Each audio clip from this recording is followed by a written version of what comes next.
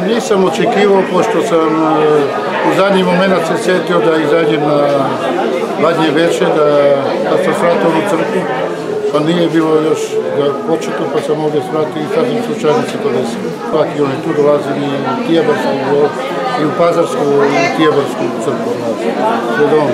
Porukama svi da veruju u Boga i da će u životu da postignu, ako veruju u sebi i u Boga i da praznik e, poštuju kao što međusobno da se ljudi poštuju i da bude sloga, mir i napredica.